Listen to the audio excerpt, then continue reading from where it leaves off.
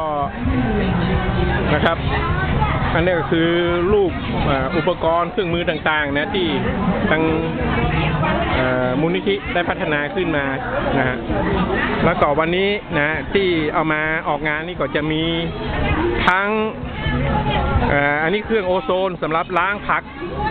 ล้างผลไม้นะครับ เพื่อที่จะฆ่าเชื้อแล้วก็ขจัดสารพิษนะครับ แล้วก็อันนี้ก็มี